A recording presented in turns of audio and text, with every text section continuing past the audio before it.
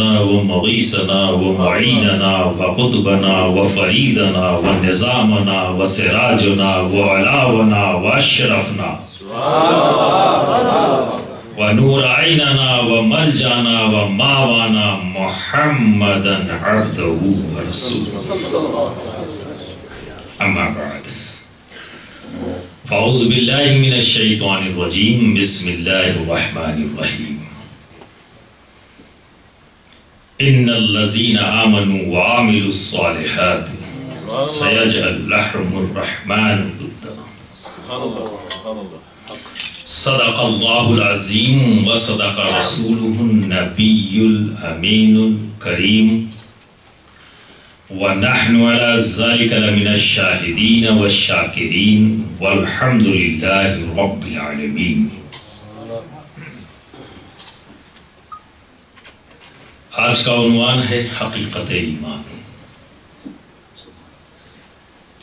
और सच बात है कि अगर ये कंफ्यूजन दूर हो जाए तो बहकने के चांसेस मिनिमाइज हो जाते हैं अच्छे खासे लोग फंसे हुए हैं यही नहीं जान सके कि हकीकत क्या है तो इससे पहले कि मैं अपने उन्वान पर गुफ्तु करूँ, अजीज़म मौलाना रफ़ीक साहब, किबला ने जैसे ही मैं बैठा, वैसे ही अपनी ख्वाहिश का इजहार कर दिया। अब एक आलिम दीन की ख्वाहिश का एहतराम करना, ये मेरी ज़िम्मेदारी भी है और ज़रूरत भी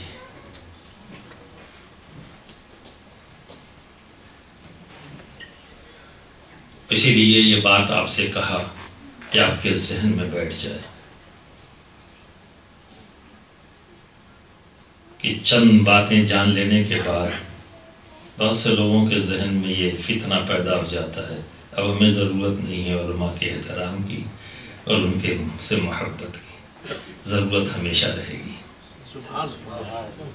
आप आवाम में हैं, वो आलिम है। ये डिफरेंस तो रहेगा ही रहेगा। ठीक है ना?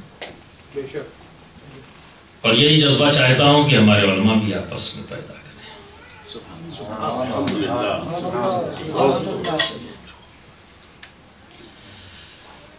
तो ख्वाहिश का एहतराम करते हुए जो नाते पाक में पेश करने जा रहा हूँ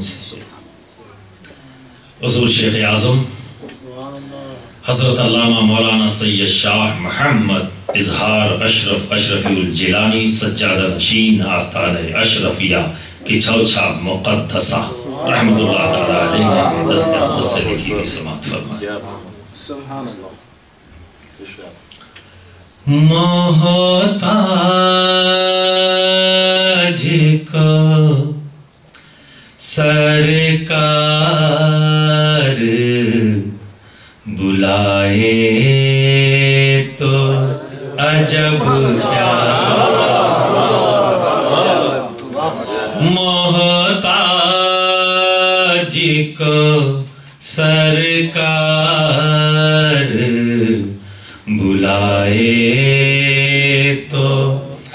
अजब क्या सोई हुई तकदीर जगाए तो अजब क्या। शेर समाज फरमाए मुश्ताक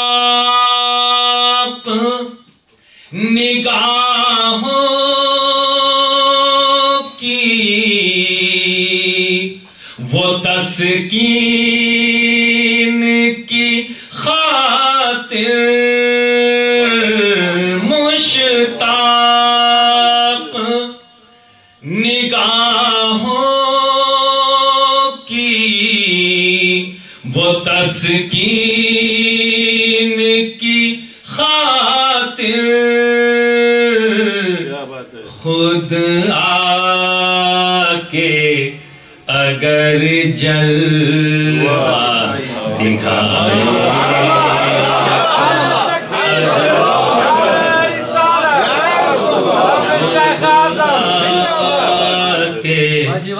अगर जलवा दिखाए तो अजब क्या? सोई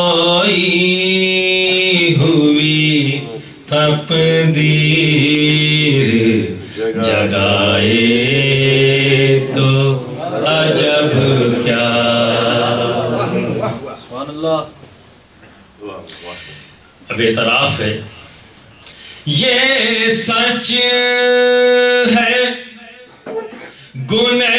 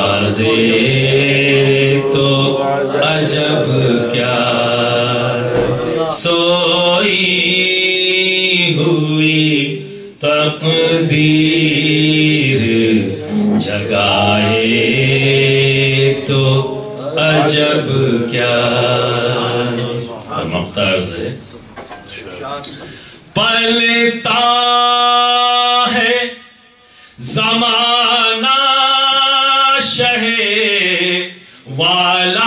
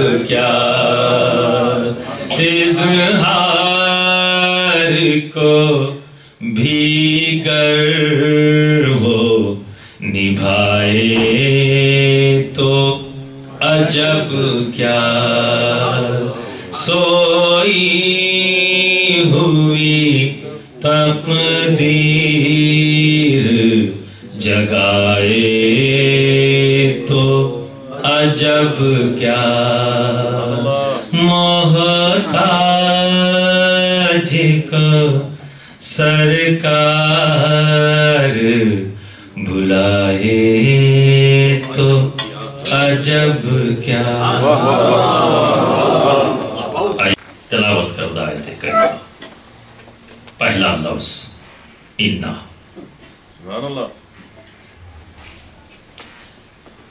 अरबी में जब इन्ना का लफ्ज इस्तेमाल होता है और माँ तो जानते ही आपको बताना मौसू है। तो मकसद है अनडाउटेड कोई शक कोई नहीं। जो बात कह रहा है रब पहले ही तमहीद भी बाँध दी। जो मैं कह रहा हूँ इसमें कोई शक और शुबह नहीं। तो अल्लाह कुछ भी फरमाए उसमें शक और शुबह कैसा? कुछ भी कहे। मानना ही मानना है। लेकिन तेवर देखो पहले ही तमीद बांधी कोई शक और शुभा नहीं। किस बात में? जो ईमान लाए और नेक अमल करते हैं अन करीब रहमान मोहब्बत अता कर देगा। इसे और आसानी से समझे। सीधा साधा तर्जुमा जो मैंने पेश कर दिया इस अंदाज से भी कह सकते कि जिनका ईमान और जिनका अमल बारगाहे खुदाबंदी में मकबूल होता है वही अहले मोहब्बत है। कौन है अहले मोहब्बत? किसके कल में मोहब्बत है? कि जिसका ईमान और अमल दोनों बारगाहे खुदाबंदी में मकबूल हो। तीन बातें कही। ईमान अमल, ये शर्त है। कंडीशन इस बात में कोई शक शुभा नहीं, पहले ही तमीद बाँध दी गई। जो बात कही जा रही, इसमें कोई शक, कोई डाउट नहीं। किस बात में? ईमान और अमल। यानी ईमान लाए और अमल करते हो। तो रिज़ल्ट अल्लाह क्या देगा? मोहब्बत। रिज़ल्ट क्या मिलेगा? मोहब्बत कंडीशन क्या है? ईमान और अमल। अब अंदाज़ा करो मोहब्बत कितना कीमती है। कितनी कीमती शय है ये मोहब्बत? जिसे हमने बड़ी आसानी से छोड़ दिया। आज वसाइल की दुनिया पर जब निगाह डालो इसमें कुछ बुज़ुर्ग भी बैठे हैं, नौजवानों ने तो वो वक्त नहीं देखा। लेकिन जो बुज़ुर्ग बैठे हैं, उन्होंने वो वक्त देखा होगा। थोड़ा ही सा सही, पर देखा ज़रूर होगा। कमियों का दौर। था? वो फरावानी नहीं थी कि रोज़ाना पहनने के लिए कपड़े हों। बाज लोग पूरे साल के लिए दस बारह जोड़े में काम चलाते थे। आज हर दिन पहनने के लिए वसाइल बढ़े। तारीख की किताबों में आज भी महफूज है वो वक्त कि पहले लोगों की मौतें होती थी तो उसमें यह भी लिखा गया कि भूख मरी से मौत हो गई। खाना नहीं मिला, इसलिए मर गए। अभी भी दुनिया के बहुत से मुल्कों में ऐसे हादसा होते हैं, जिन्हें आप मीडिया के ज़रिए आप तक भी वो बात पहुँचती है, जिसमें सोमालिया वगैरह, जो मुल्क मिनिस्टर हो जाता है, वहाँ इस तरह के हालात होते हैं। तो पहले के दौर में इसकी कमी थी। लोग भूख से मरते थे। आज खा खा के मर रहे हैं।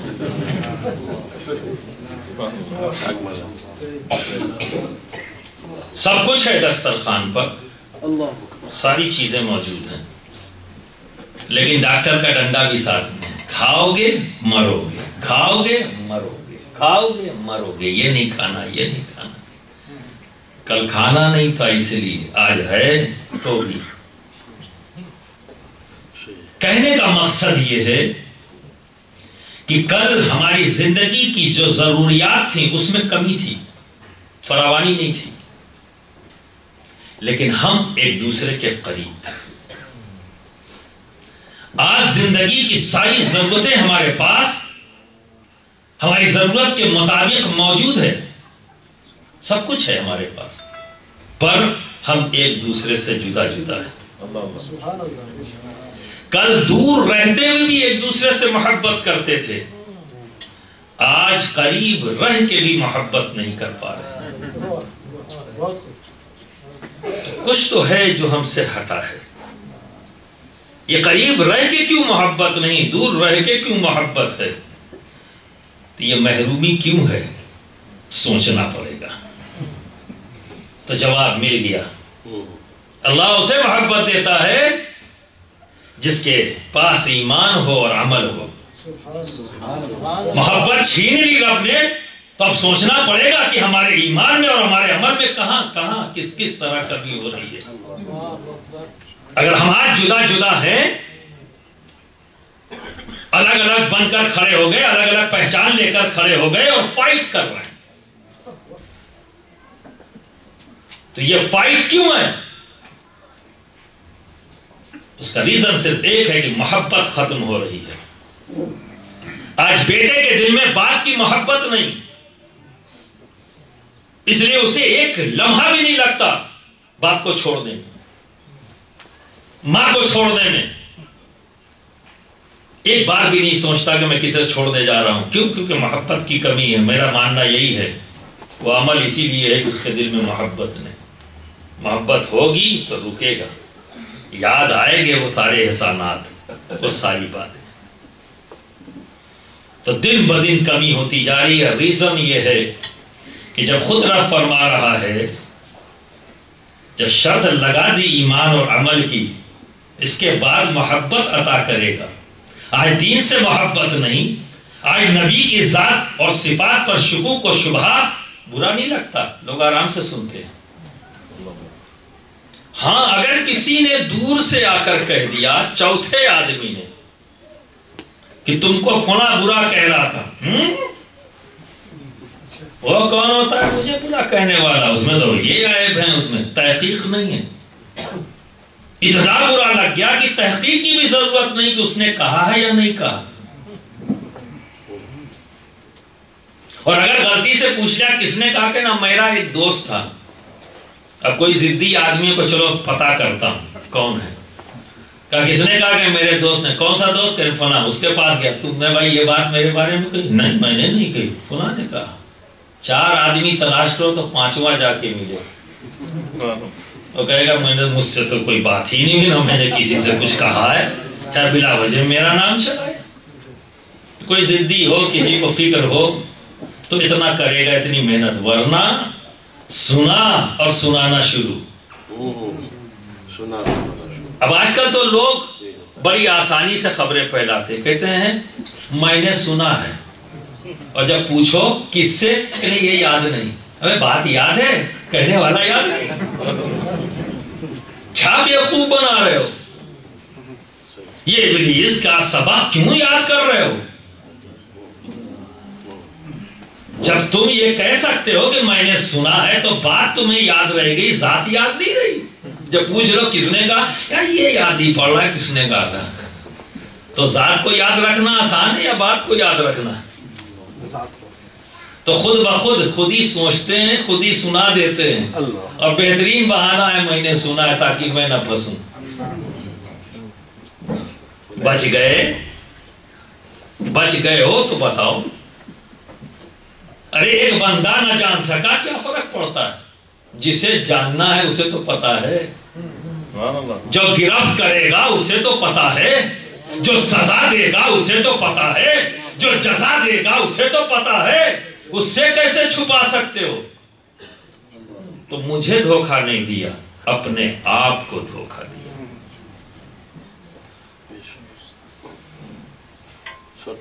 ये तमीदी गुफ्तगु है जिस पर आपका जहन चले ताकि मेरी बात समझ में आए। बहुत इसी तरह से आज वह दौर चल रहा है कि नमाज़ नमाज़ नमाज़ नमाज़ पर जाने नमाज़ से दूर किया जा रहा है।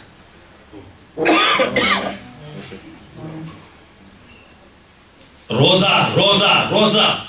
अमल की बात हो रही। पर जिसकी जान है, रूह है, उस जात के ताल्लुक से कंफ्यूज किया जा रहा तो हम यहाँ समझने के लिए इकट्ठा हुए, ईमान। ईमान क्या है? दो लफ्जों को अपने जहन में महफूज कर लीजिए, आसानी होगी समझने में। एक है हकीकत और एक है अलामत दो लफ्जों को रखें जहन क्या है? हकीकत। और अलामत आपका पूरा मुल्क ग्रीन है। जिधर निगाह उठा उधर हरियाली है। पेड़ पौधे। है ना? जी। जो हरे हरे पेड़ आपको नज़र आ रहे हैं मैं आपसे सवाल करता हूँ वो ज़िंदा हैं या मुर्दा? ज़िंदा ज़ोर से बोल दें। ज़िंदा ज़िंदा क्या किसी पेड़ ने आपके कान में आके कहा कि मैं ज़िंदा हूँ? नहीं बिल्कुल नहीं। फिर आपने कैसे जाना कि ये ज़िंदा है? किसी ने कहा नहीं ना? फिर आप कैसे कह सकते हो कि वो ज़िंदा है? बताएँ थोड़ा सा मदद करें मेरी। दिखाई देता है। हैं? दिखाई दे रहा है। क्या दिखाई दे रहा है? हरियाली सुभान अब आपने जो डिफिनेशन पेश की कि जो पेड़ हरा है वो ज़िंदा है। ये आपकी डेफिनेशन है दी आप डिफाइन कर रहे हो पेड़ की ज़िंदगी किस तरह से? कि वो पेड़ ज़िंदा है जिस पर हरियाली है। ओके तस्लीम करता हूँ पर थोड़ी देर के लिए।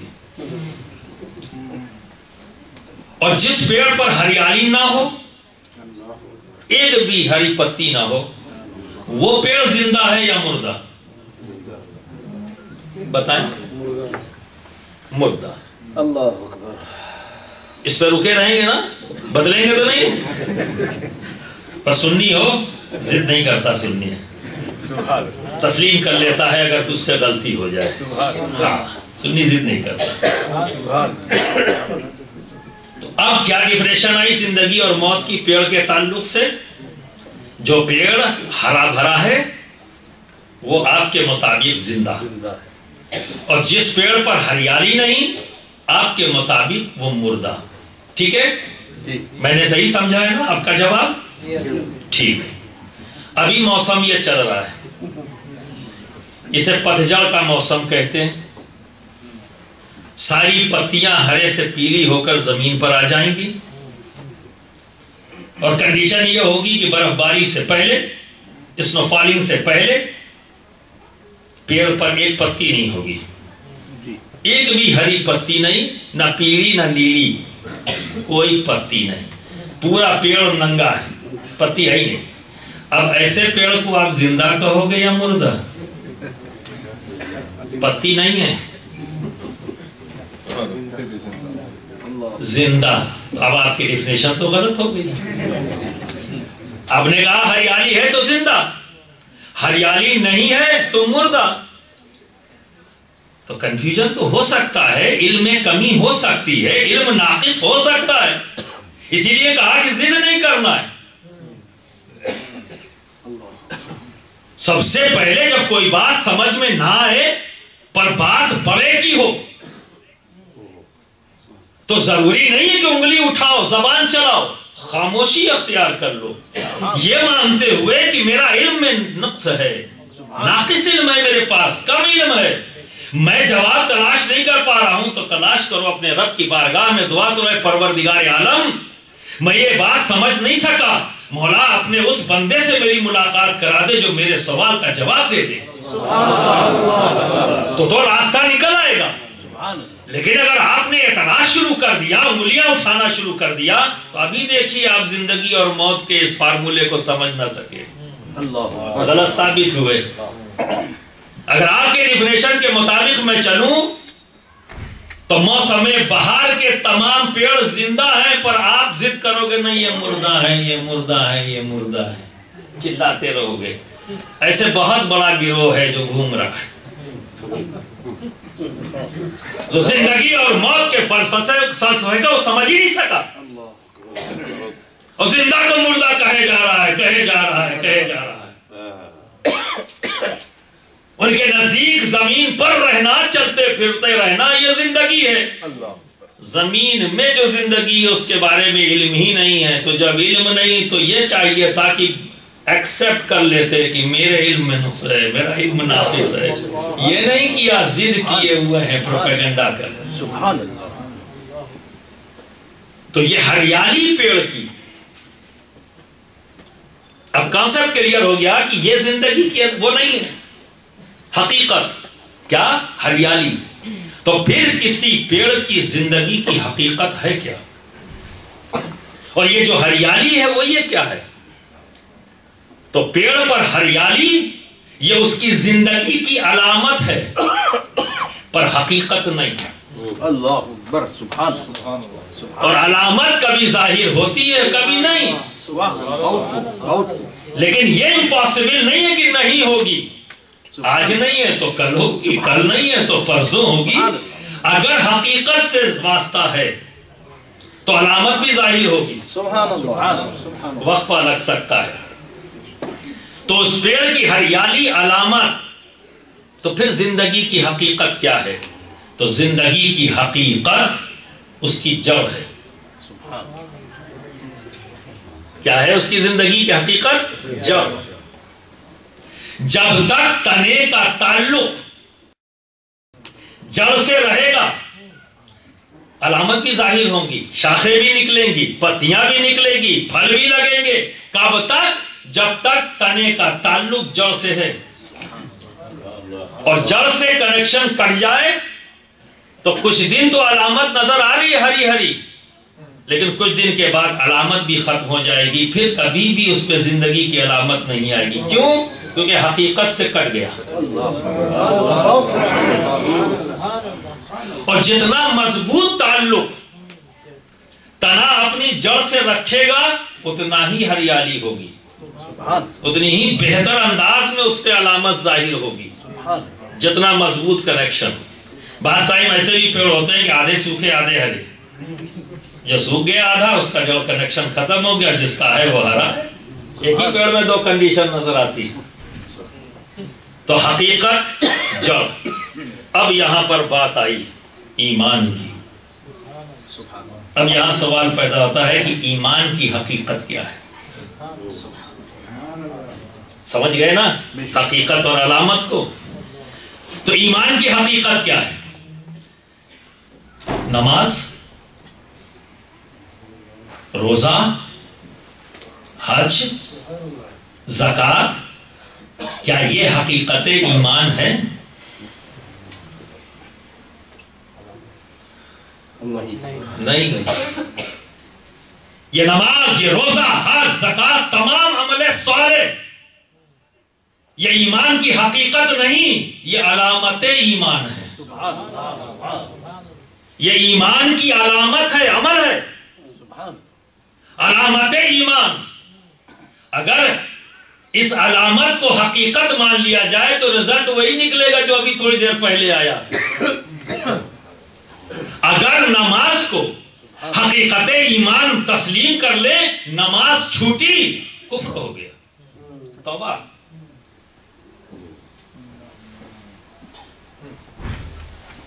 तो नमाज़ रोजा हज जक़ात अलामत ईमान। तो फिर हकीकत ईमान क्या है? और जब तक हकीकत से कनेक्शन नहीं होगा अलामत भी। सुबह और हरियाली वहीं आती है जिसका ताल्लुक मज़बूत हो। किससे? हकीकत अब देखो अलामत पर समझ लो। ये मस्जिद है। अब यहाँ आने जाने वालों को आप क्या कहोगे? जो मस्जिद में आता है वो कौन होता है? नमाजी। नमाजी। कौन होता है? मुसलमान। तो मस्जिद में आने जाने वाले को आपने क्या कह दिया? मुसलमान। उसका राइट हो गया मस्जिद में आने का। और ये कहलवाने का कि मैं मुसलमान हूँ। आपकी डिफिनेशन के मुताबिक कि मस्जिद में जो आया और गया जिसने सजदे किए नमाजें पढ़ी वो कौन? मुसलमान। ठीक है? अब बताइए आपकी बात मानू या नबी की? किसकी माननी है? किसी आलिम की माननी है या नबी की। आलिम कोई बात अपने मन से नहीं कहता ये अल्लाह का शुक्र है उलमा अहले सुन्नत पर। ये कोई बात अपने जहन से नहीं कहते अपनी मर्ज़ी से नहीं कहते वही कहते हैं जो नबी ने कहा है।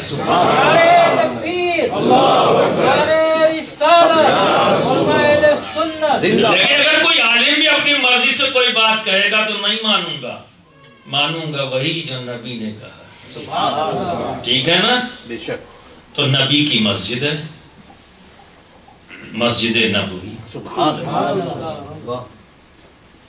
मस्जिद कौन सी? मस्जिद नबवी अब आप अंदाज़ा लगाइए। आम मस्जिदों में आने जाने वाले आपके जहन के अंदर आपके डिफिनेशन के मुताबिक वो मुसलमान है तो मस्जिद नबवी में जाने वाला? है ना? अच्छा आजकल इबादत भी लोग कैलकुलेटर लेके करते हैं। कहें देखो हज करने जाओ। हरम शरीफ में जब पढ़ोगे एक लाख। और मदीने मुनवरा में पचास हज़ार। हाँ। कैलकुलेटर लेके इतनी नमाज़ पढ़ी तो इतने लाख हो गई है हम्म, इतने इतना हो गया। ये भी याद रखो कि एक बार चूकोगे तो एक ही वापस। अगर दिन भर में दस नेकियाँ की तो दस लाख दस जहाँ चूक गए तो माइनस ज़ीरो। रिज़ल्ट क्या है? ज़ीरो। आप कैलकुलेटर ही में समझे।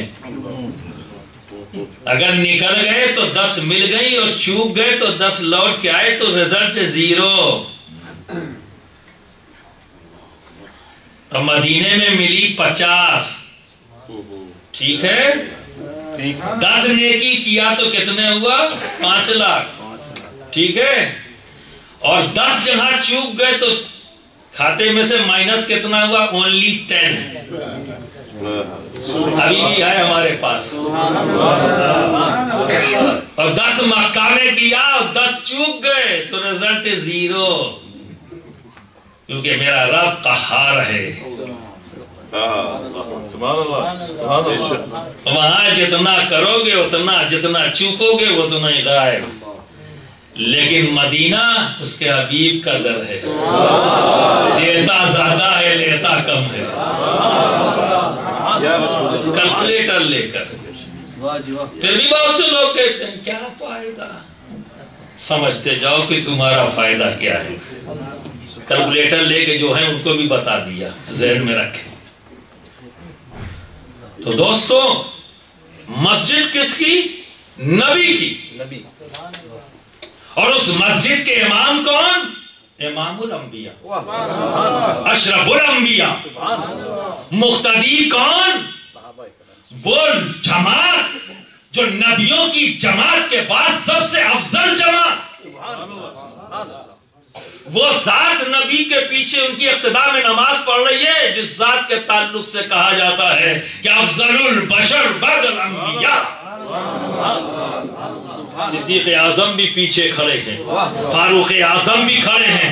वो जात फारूक आज़म की कि राय दें, राय मांगी जाए, बोले तो मिन्नो उन्नी अल्फाज में रब तबारक ताला वही नाजिल हज़रत उस्मान गनी जिससे फरिश्ते भी हया करें। वो अली, दोस्तों, कि जिसे अल्लाह के हबीब ने क्या फरमा दिया? बाबुल इल्म। अब आप अंदाज़ा करिए ऐसे लोग भी हैं। जमात खड़ी है। नमाज़ भी पढ़ रहे हैं। नबी क्या फरमा रहे हैं? ए फुला इब्ने फुला उखरुज हाजा मुनाफिक।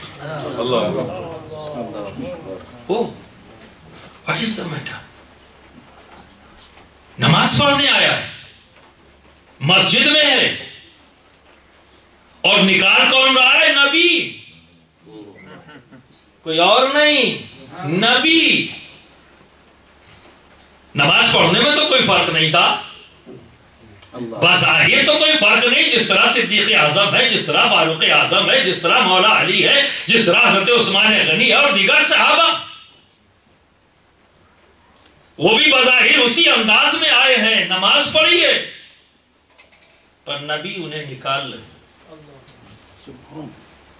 उनकी नमाजों को खातिर में नहीं किया नबी। ने जब और मुनाफिक, अल्लाह की दो दो रिज़ल्ट दे रहा है।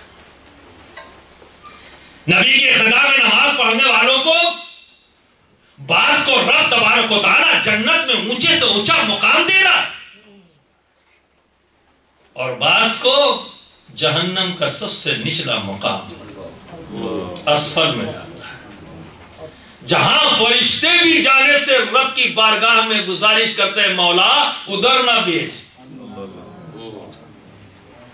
और वहाँ रब उनके लिए कह रहा है, इन्नल मुनाफिकीन फ़ी दर्क असफल मिनन नार।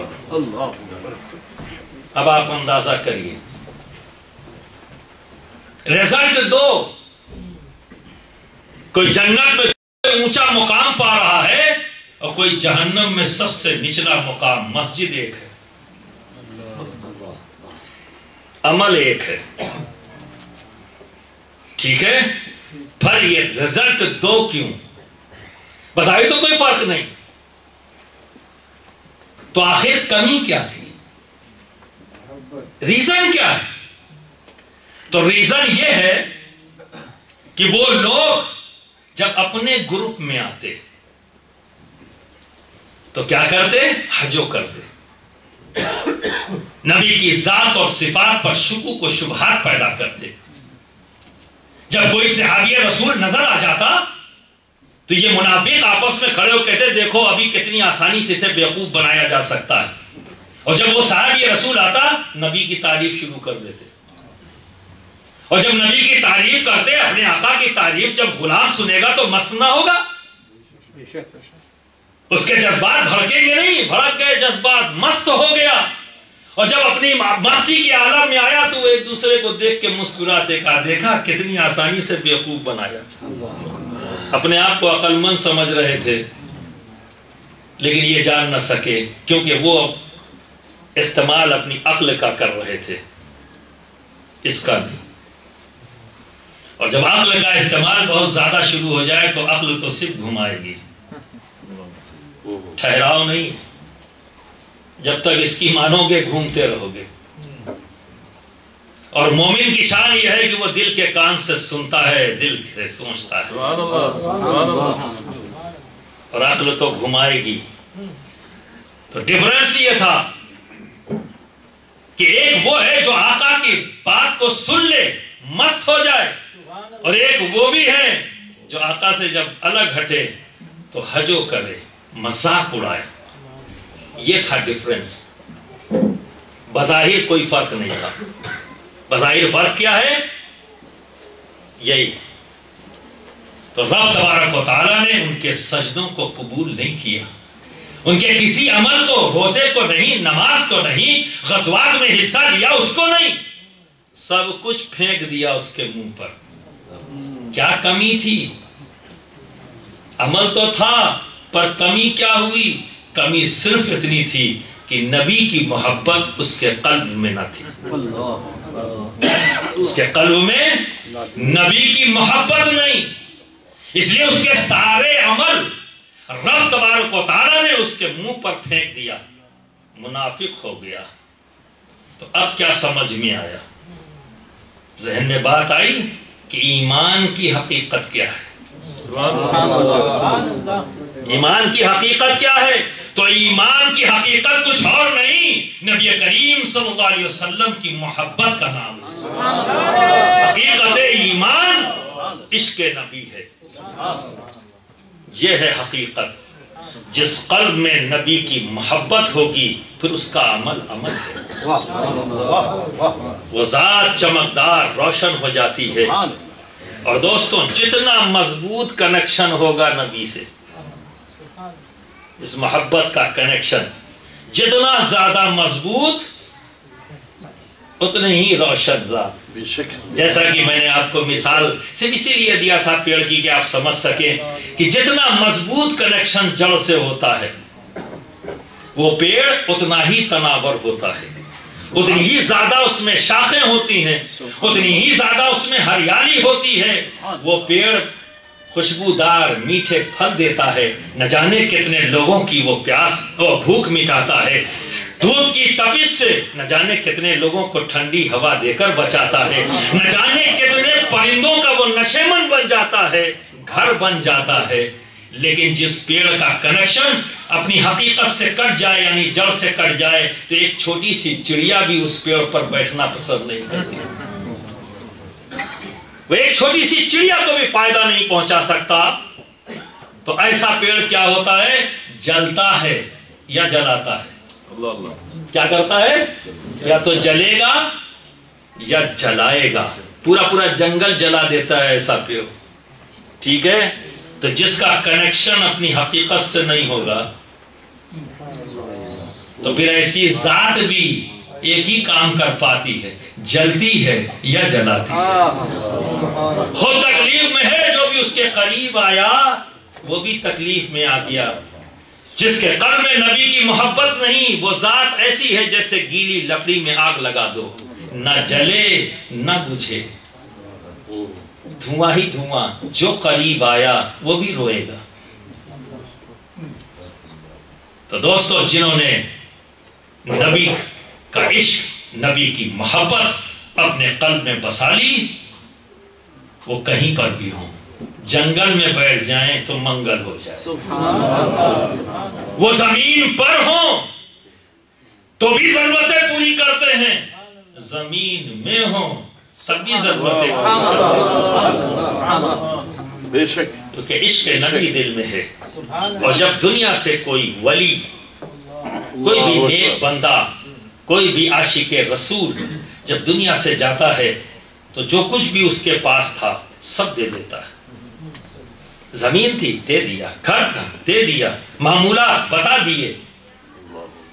वो सब कुछ तो बता देगा अगर मदरसा में है तो मदरसा दे दिया। तरीक़ेकार बता दिया कैसे कैसे करोगे? मैंने क्या निज़ाम कायम किया? पर एक चीज़ अपने साथ ले जाता वो नहीं देता किसी को। ईमान। वो नहीं देता। वो अपने साथ ले जाता है। वो क्या चीज़ है? इश्क नबी।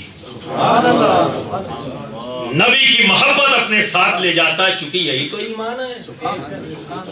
यही कभी हुई तो रुखसत रुखसत हज़रत आदम के जिस्म रूह डाली गई, वापस गई।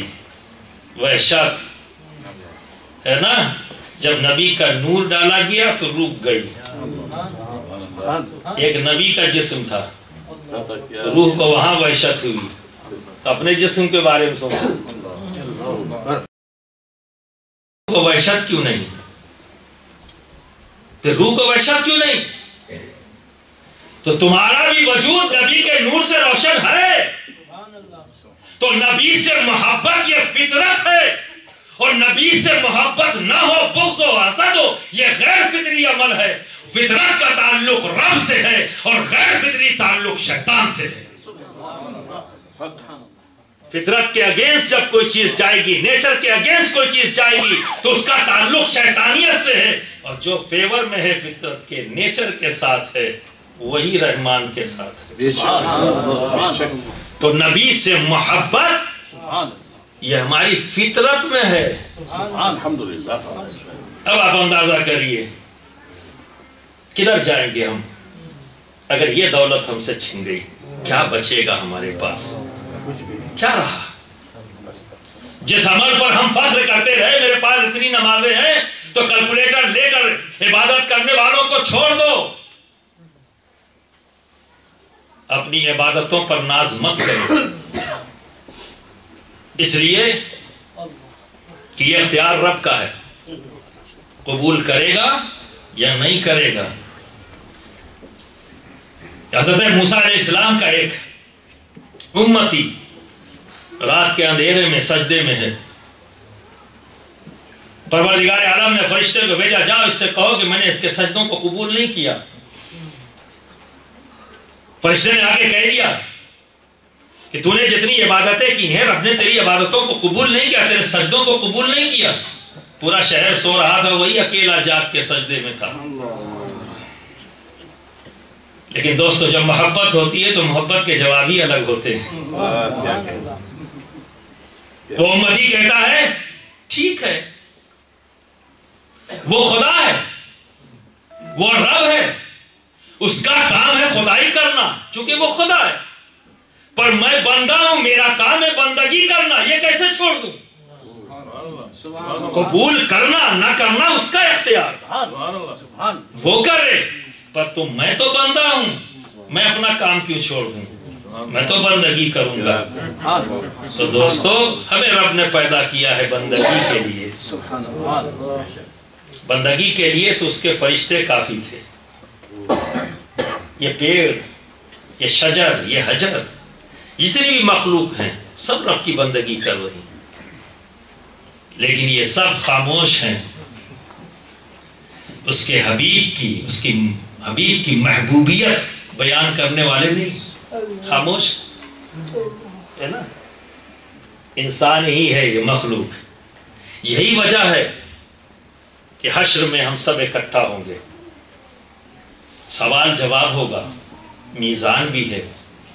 क्या अल्लाह रब्बुल इज़्ज़त से हमारे कोई अमल छुपे हुए? सब जानता है। फिर ये दो बैठे हुए ये किस लिए क्यों लिख रहे हैं? मेरे रब के इल्म में है सब कुछ। फिर इनकी क्या ज़रूरत? वो साहिब अख्तियार है, जिसे चाहे जहन्नम में डाल दे, जिसे चाहे जन्नत दे दे। वो साहिब अख्तियार है, क्या कर लेंगे आप? कुछ कर सकते हैं? हड़ताल करेंगे, कर लीजिए। हाय हाय करेंगे करिए क्या कर सकते हैं आप? वो ऐसा इख्तियार वाला है कि उसके सामने कुछ भी नहीं है। कोई हैसियत नहीं। कुछ नहीं कर सकते आप।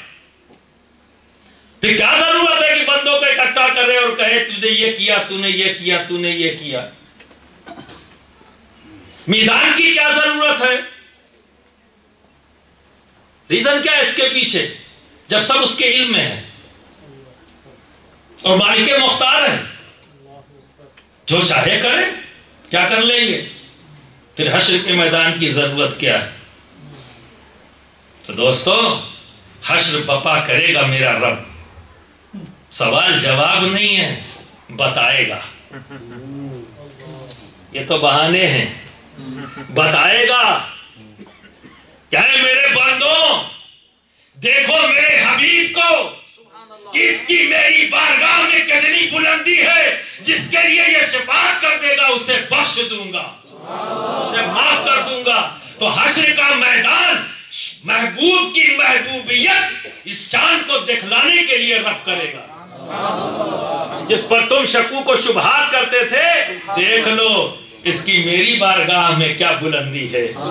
जिससे तुम बुग्ज करते थे, देख लो, इसकी शान मेरी बारगाह में क्या है, इसकी महबूबियत क्या है। देख लो तो जो यहाँ अक्ल का इस्तेमाल करते हुए बहुत काबिल बन रहे थे, हाय हाय करेंगे। और नबी का ज़िक्र सुनकर जब तुम मस्त हो जाते हो तो बहुत से लोग हैं। देखो ये बेवकूफ़ों की भीड़ कैसा मस्त हो गए। तुम्हें बेवकूफ़ समझते हैं, कल वही लोग हाय हाय करेंगे। आ, हमने क्या किया? और ये कितना अकलमंद था जिसे हम दुनिया में बेवकूफ़ समझ रहे थे। कितना अकलमंद था कि आज बैठकर देख रहा है और हम परेशान हैं। तो दोस्तों, हकीकत ईमान नबी की मोहब्बत है। ठीक है? लोग अपनी बेईमानियों को छुपाने के लिए अलामत को हकीकत बनाने में लगे हुए हैं। अलामत की ज़िक्र तो बार बार करते हैं पर हकीकत की बात नहीं करते अलामत की तरफ़ तो बुलाते नज़र आते हैं पर हकीकत की तरफ़ जाने से रोकने की कोशिश करते हैं। ये आपको समझना है। ये आपको जानना है। तो दोस्तों हकीकत ईमान कुछ नहीं सिर्फ़ और सिर्फ़ सिर्फ़ और सिर्फ़ नबी की मोहब्बत है और अल्लाह हम सब के कल्ब में नबी की मोहब्बत पैदा फरमाए और इन शुबू को शुभात से हमें इस शैतानी वसवसे से रब तबारक ताला महफूज फरमाए क्योंकि इबलीस बहुत बड़ा बहरूपिया है। कोई भी भेष बना सकता है। जानते हैं ना?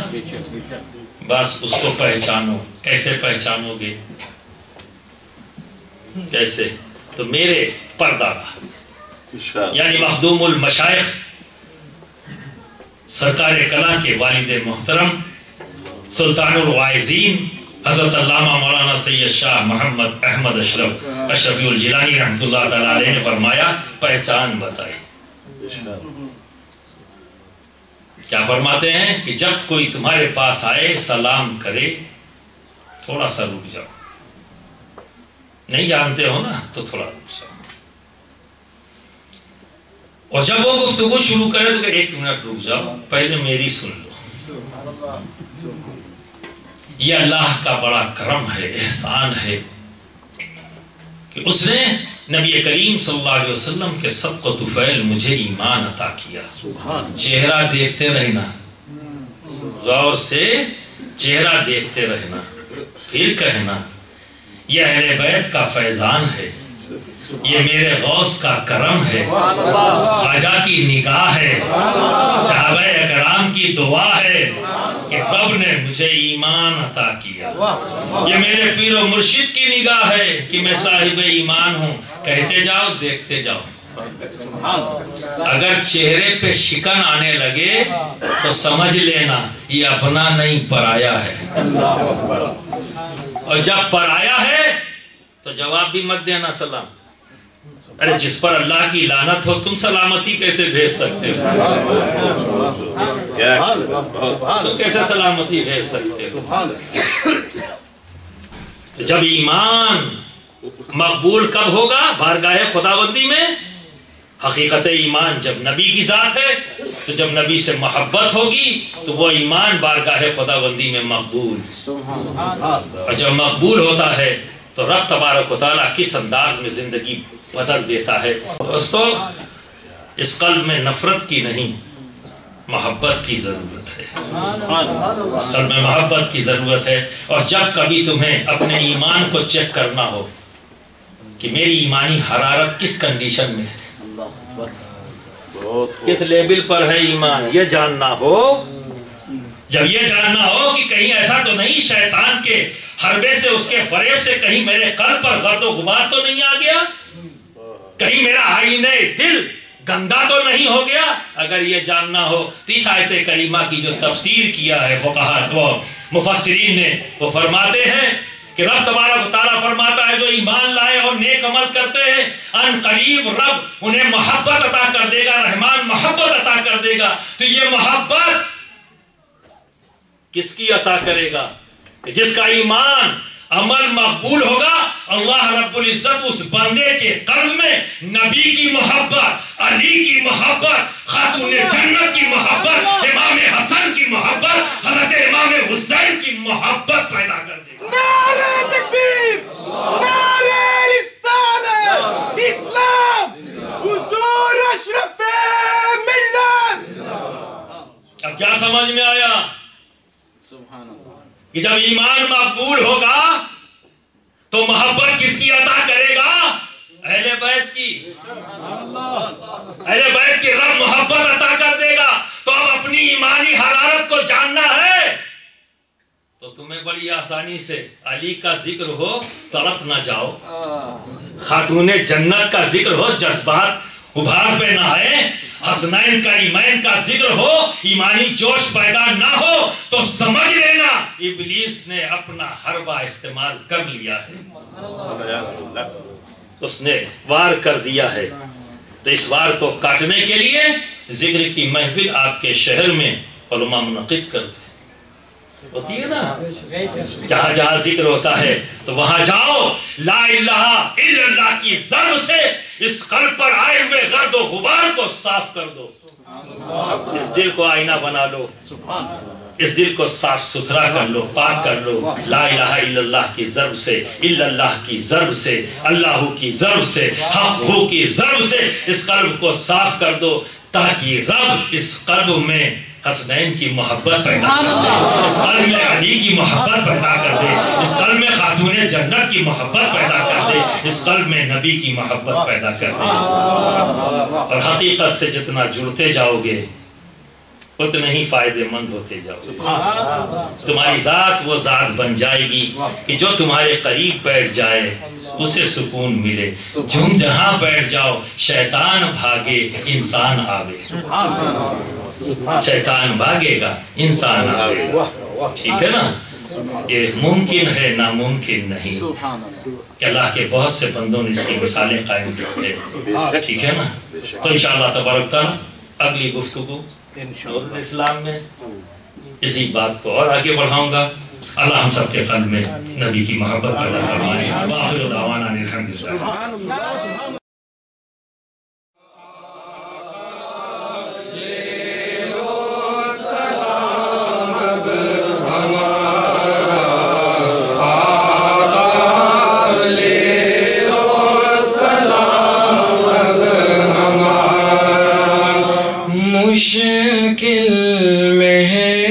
है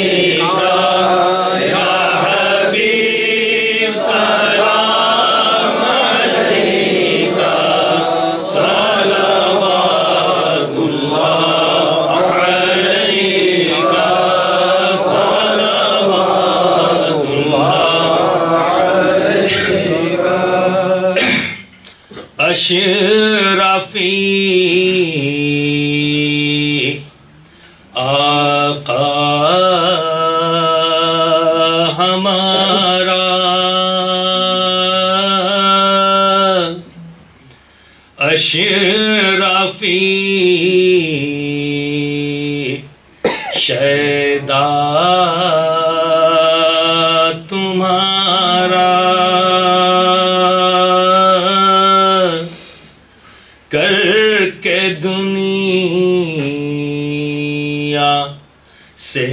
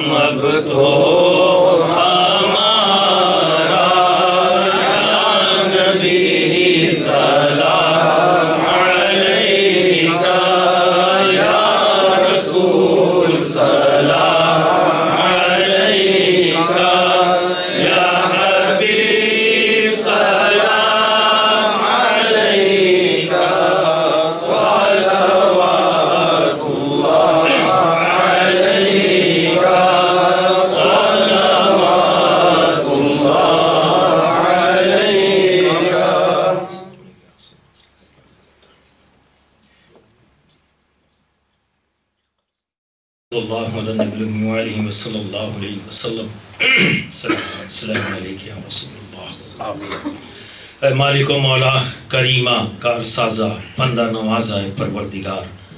अपने प्यारे हबीब मोहम्मद रसूलुल्लाह सल्लल्लाहु अलैहि वसल्लम के सदक़ दुफैल मालिक मौला तू हमारी ख़ताओं को माफ़ फरमा। आमीन। या अल्लाह तो हमारे गुनाहों को माफ़ फरमा। आमीन। या अल्लाह तो हमारे ईमान को ताजगी और पुख्तगी अता फरमा। आमीन। या अल्लाह तो हमारे ईमान को सलामती अता फरमा। आमीन। सजदों की तौफीक अता फरमा।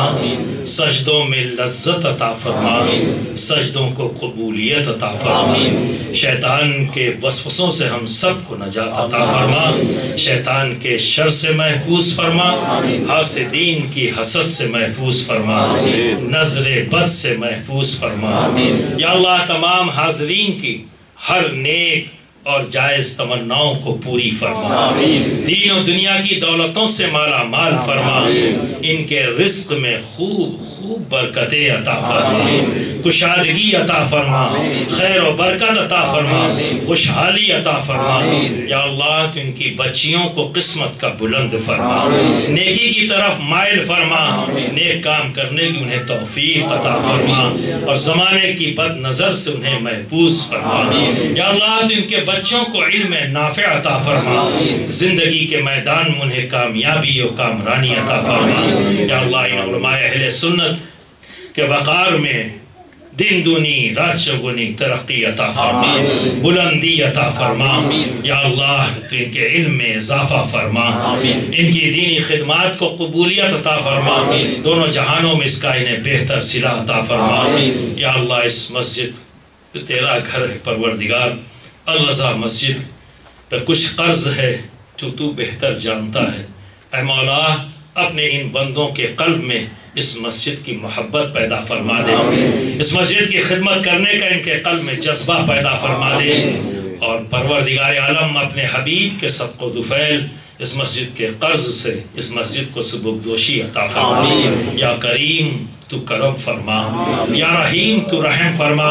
या अल्लाह हमारे उलमा से जिन लोगों ने दुआ के लिए कहा, तेरे हकीर बंदे से जिन लोगों ने भी दुआ के लिए कहा, परवरदिगार आलम, मेरे पीर मुर्शिद के तुफ़ैल, सरकार मखदूम सिमना के तुफ़ैल सरकार गरीब नवाज़ के तुफ़ैल सरकार गौस आज़म सैयद अब्दुल कादिर जिलानी के तुफ़ैल हसनैन करी मैन के तुफ़ैल खातून जन्नत की रदाय मुबारक के तुफ़ैल मौला अली के जूद व सखा के तुफ़ैल हज़रत उस्मान गनी की सखावत के तुफ़ैल हज़रत उमर फ़ारूक के अदल के तुफ़ैल हज़रत सैदना सिद्दीक़ आज़म की सिद्दीकियत के तुफ़ैल सरकार दो आलम सल्लल्लाहु अलैहि वसल्लम की नालैन मुबारक के तुफ़ैल परवरदिगार आलम तू हम सब की दुआओं को कबूलियत या अल्लाह तू हमारी दुआओं को कबूलियत अता फरमा सबकी नेक और जायज़ तमन्नाओं को पूरी फरमा दे।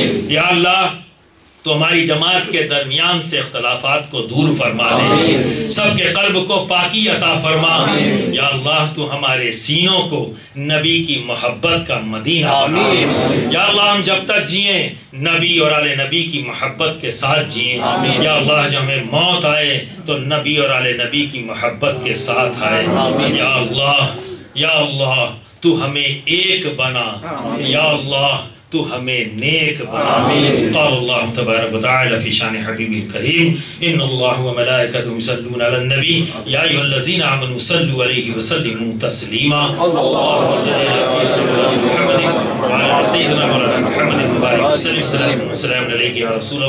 सुब्हान रब्बिका रब्बिल इज्जति अम्मा यसिफून।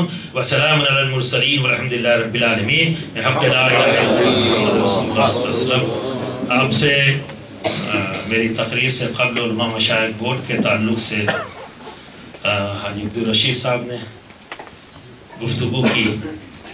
जो लोग भी इसका देखना चाहते हैं तो वेबसाइट मौजूद है A I U M B dot com या ऑल इंडिया मशाइ बोर्ड डॉट कॉम या सुन्नी कॉन्फ्रेंस डालेंगे इंडिया करके तो बहुत से मुख्तलिफ़ शहरों में मशाइ बोर्ड ने जो ऑर्गेनाइज़ किया है सुनीत के।